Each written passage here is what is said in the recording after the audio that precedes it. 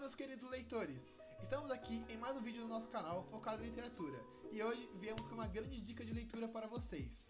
O nosso convidado de hoje é Poemas Escolhidos de Gregório de Matos. Carregado de mim, ando no mundo, e o grande peso embarga-me as passadas, que como ando por vias desusadas, faço o peso crescer e vou-me ao fundo. O remédio é seguir o imundo caminho, onde dos mais vejo as pisadas, que as bestas andam juntas, mais ornadas, como anda só o engenho mais profundo. Não é fácil viver entre os insanos. Erra quem Resumindo a história de Gregório, ele nasceu na antiga cidade da Bahia e passou sua vida em lugares como Portugal, Angola e faleceu em Recife em 1696. Ele viveu no período barroco, no qual o período enfrentava a duridade do homem, então é normal notar recursos discursivos e linguagem como sátrica, na qual criticava o estado atual de uma sociedade ou governante. Usamos essa ilustração, por exemplo, para demonstrar resumidamente como o poema Epílogo se representa, que é praticamente poesia sátrica.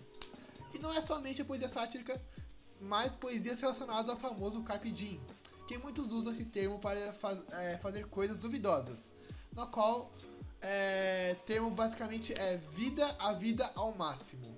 Porém, os poemas deles explicam bem como esse lema realmente funciona. Agora eu vou deixar essa parte com meus dois amigos estrangeiros que também nos ajudaram a fazer esse maravilhoso vídeo para vocês. Eles vão falar mais sobre os recursos discursivos do Gregório e como ele usava.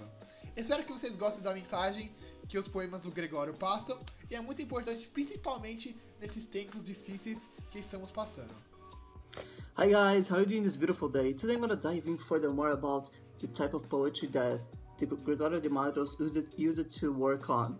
And this type of poetry is called the satirical poetry. Tem que pensar que o poeta é cômico, no caso da sátira, cômico no sentido, ele trabalha com o baixo, ele trabalha com aquilo que faz rir, mas às vezes o que faz rir é só o ridículo. E nesse sentido o poeta imita poetas anteriores, mas ele vai buscar mais longe ainda em Horácio, o poeta latino, século I a.C., os modelos para fazer uma poesia ridícula, em que ele faz brincadeiras, ele faz joguinhos de palavras, ele se ocupa assim da, da pequena bobagem. The satirical poetry, like my friend, like my friend said, is a type of poetry that mainly criticizes the way society behaves and how its government treats their population.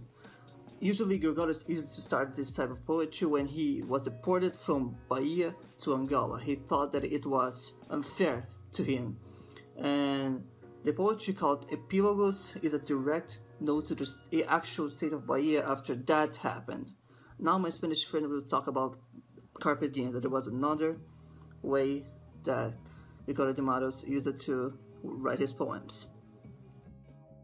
Gregório de Matos e Guerra é um nome que classifica um conjunto muito grande de poesia produzida nessa circunstância luso-brasileira que pressupõe Portugal e pressupõe ao mesmo tempo o Estado colonial do Brasil.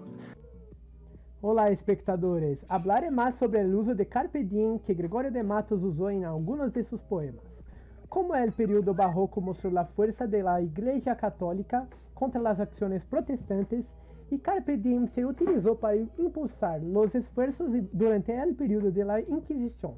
É uma poesia do mundo que é católico, que está em luta contra os protestantes, contra Maquiavel e contra o judaísmo e contra o Islã também, contra o mundo árabe. Uh, é uma poesia numa sociedade que é escravocrata, é uma poesia de uma sociedade que escraviza e assassina índios para ocupar a terra, e uma sociedade que não é burguesa, que é fidalga, que é aristocrática, que tem um desprezo pelo trabalho manual, por exemplo, e que é uma sociedade desigual.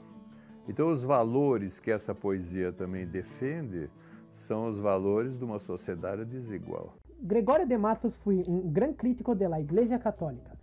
pero le dio vida al concepto de carpe diem y en sus poemas dirigió su vida y la aprovechó al máximo.